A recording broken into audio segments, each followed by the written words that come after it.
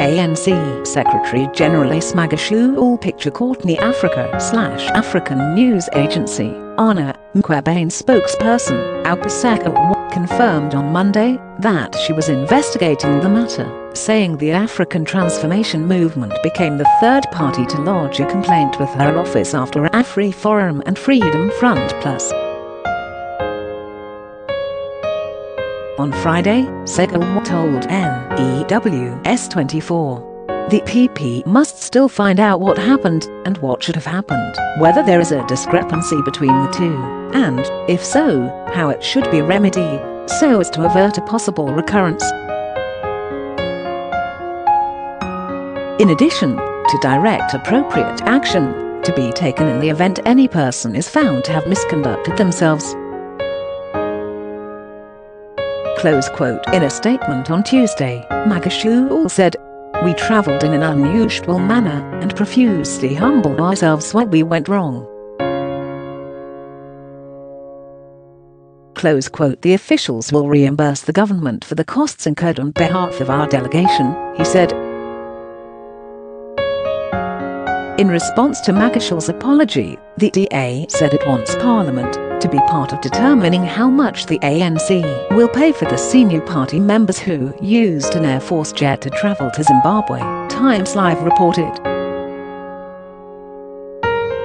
The party said it will request National Assembly Speaker Thandi Modise to call an urgent meeting of the Portfolio Committee of Defense and Military Veterans to which the Department of Defense accounts.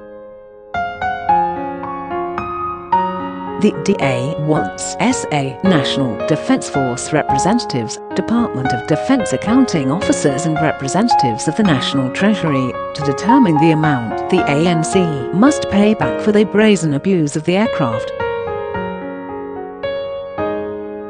On Wednesday, DA Defense spokesperson Kobus Marais said all of the ANC delegates will have criminal charges laid against them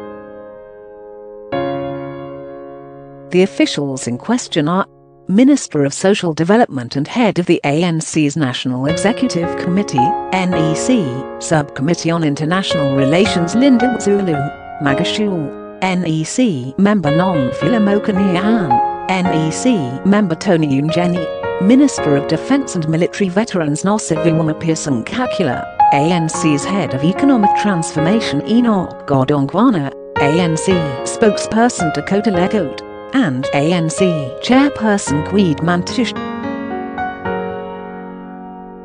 President Cyril Ramaphosa has ordered a report on the flight. The delegation travelled with Mapisa Nqakula, who had permission to travel to Zimbabwe for talks with her defence counterpart. Post published in Featured